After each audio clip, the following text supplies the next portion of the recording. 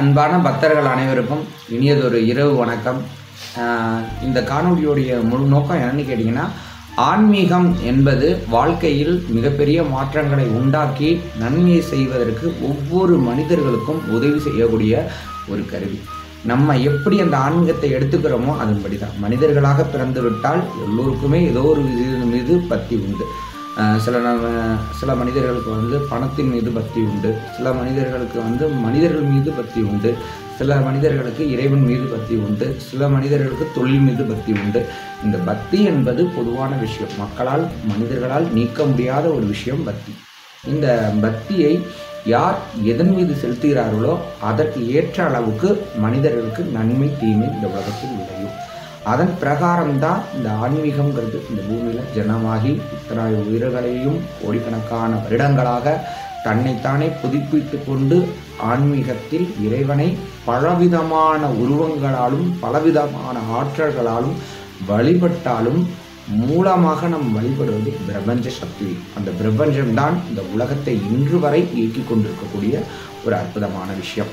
அந்த அற்புதமான விஷயத்தை தான் நம்ம இப்போ எடுத்து சொல்ல போகிறோம் இந்த பிரபஞ்சத்துடைய நோக்கம் என்னன்னா இந்த உலகம் தன்னைத்தானே சுத்திகரித்து கொண்டு அடுத்தடுத்த ஜென்ரேஷனை உருவாக்குறதுக்கான வாய்ப்புகளை நமக்கு மனிதராகப்பட்ட நமக்கு அளிச்சிருக்கு. மனிதர்கள் இறைவனால் படைக்கப்பட்டவர்களா அல்லது பரிணாம வளர்ச்சியாக வந்தவங்களா அப்படின்னு நம்ம ஆராய்ச்சி பண்ணிட்டு இருக்க இந்த தருணத்தில் நம்ம தெரிஞ்சுக்க வேண்டியது ஒன்றே ஒன்று தான் நம்ம எதனால் நம்ம உருவாக்கப்பட்டோங்கிறத விட நம்ம என்ன உருவாக்கி கொடுத்துக்கிட்டு இருக்கோங்கிறது நம்ம யோசித்து பார்க்க வேண்டிய ஒரு விஷயம்.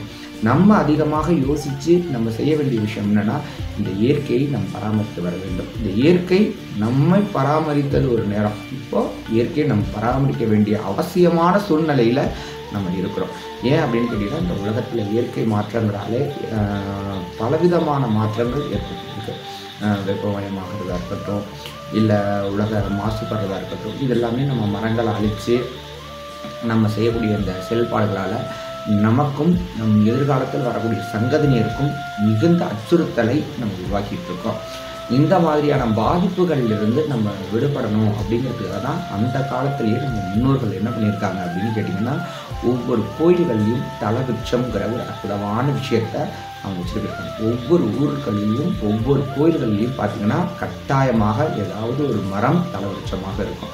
அப்போ மரம் மறைமுர்த்தமாக அப்போ நம்மளுடைய பெரியவங்கள்லாம் என்ன சொல்லியிருக்காங்க அப்படின்னா இயற்கை தான் இறைவனுக்கு மிக உரியது. நம் என்னதான் மனிதனாக நம்ம இருந்தாலும் இப்படியாவது எதிர்காலத்தில் நடக்க போகிறத முன்னாடியே நம்மளுடைய முன்னோர்கள் வந்து முன்னாடியே உணர்ந்திருக்காங்க.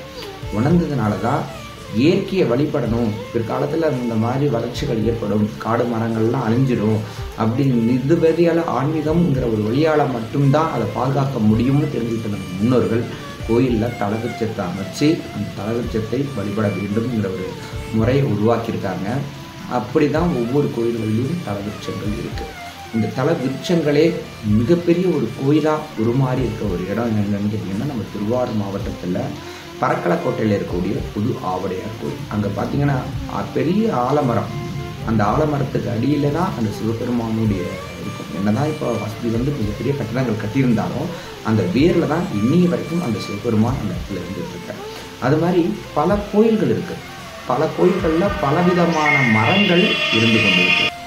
அப்படி ஒவ்வொரு இடங்கள்லையும் தலவிருட்சங்களை பாதுகாக்கக்கூடிய சூழ்நிலைகளை நம்மளும் விருப்பப்பட்டு நம்ம செய்யணும். நம்மளால் முடிஞ்ச நம்மளுடைய பிறந்த நாளுக்கு நிறைய மனிதர்கள் பிறந்த நாள் கொண்டாடுறோம் இல்லையா? நம்மளுடைய பிறந்த நாளுகளுக்கு கோயில்கள்லேயோ அல்லது பொதுவான இடங்கள்லேயோ மர செடி கன்று நட்டு நம்ம நம்மளுடைய மகிழ்ச்சியை நம்ம கொண்டாடணும் அப்படின்னம்னா வரக்கூடிய சங்கதினருக்கு மிகப்பெரிய இயற்கையை பாதுகாத்து நம்ம அவங்களுக்கு கொடுக்கறதுக்கான வாய்ப்பு நமக்கு அமையும். அது நம்ம வந்து கோயிலில் தான் செய்யணும்னு கிடையாது. நிறைய பொது இடங்கள் இருக்குது. வனப்பகுதிகள் இருக்குது. நம்மளுடைய நம்மளால் முடிந்த மரங்கள் நிறைய மர வகைகள் இருக்குது. நமக்கு பயனளிக்கக்கூடிய மரங்களும் இருக்குது. நமக்கு காடுகளை மலை வளத்தை பாதுகாக்கக்கூடிய மரங்களும் இருக்குது. இந்த மாதிரியான மலை வளம் பெறக்கூடிய மரங்கள் எல்லாம் நம் விதைத்து நம்மளுடைய நாட்டிற்கும் நம்மளுடைய மக்களுக்கும் நம்மளால் முடிந்த ஒரு சின்ன எதிர்காலத்தில் வரக்கூடிய சந்ததியருக்கு நம்மளாலும் இந்த உதவிகளை செய்து எல்லோருமே இறைவனுடைய அனுகிரகத்தை பெற வேண்டும். எல்லோருமே அந்த அம்பாளுடைய அனுகிரகத்தை பெற வேண்டும். எல்லோருக்குமே இறைவனுடைய ஆசீர்வாதம் இருக்க வேண்டும் என்று மனதார அன்னை நாகபராசக்தி அம்மனையும் அதற்கான காளி கிருத்தேங்கரா தேவி அம்மனையும் இதர பரிவார தெய்வங்களையும் எல்லாம் வல்ல எங்கள் நாகநாத சுவாமியும் பிரார்த்தனை செய்கிறேன். எல்லோருக்கும் இறைவு கிடைக்கட்டும்.